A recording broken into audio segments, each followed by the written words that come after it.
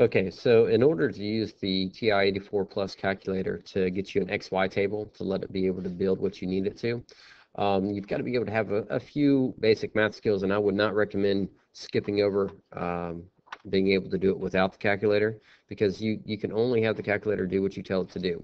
Um, if you have a standard form equation, um, you don't normally need to convert it when you're doing it on paper uh, to slope intercept, but for a TI-84 calculator, you need it to be in slope intercept. And so you've got to go ahead and get that y all by itself.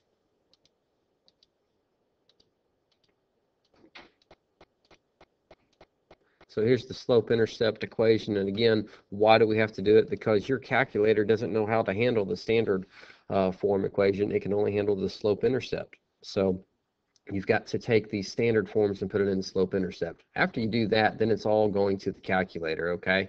So um, the, the next thing that, that uh, we would do is literally pull up our calculator right here, turn it on, and the first thing I want you to do is I want you to just click on this y equals button right here, okay?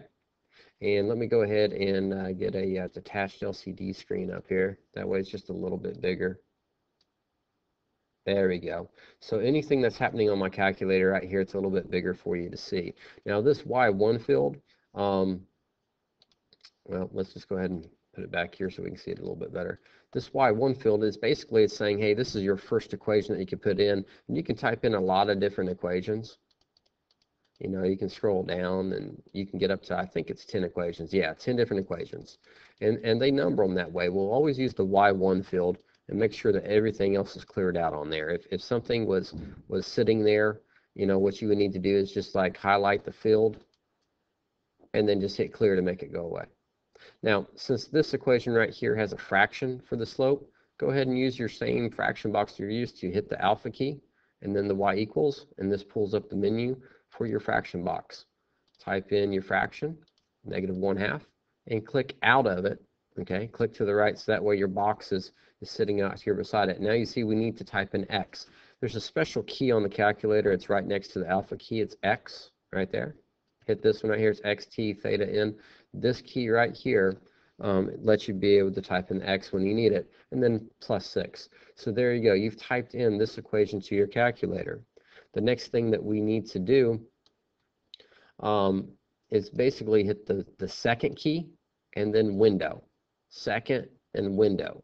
And that brings us to the table setup question, uh, window right here. And if you notice right above window in blue, it's TBLSET. That stands for table setup. So that's an easy way for you to remember it.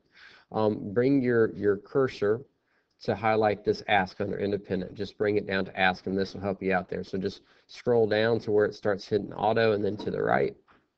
And then to select it, choose enter. Now, after that, all that we have to do is hit second and table. And here is our table right there. Um, if you want the x to be a zero, type in zero right now and you'll see it sitting right here as zero and then hit enter. And instantly you will see that six popped up. Why?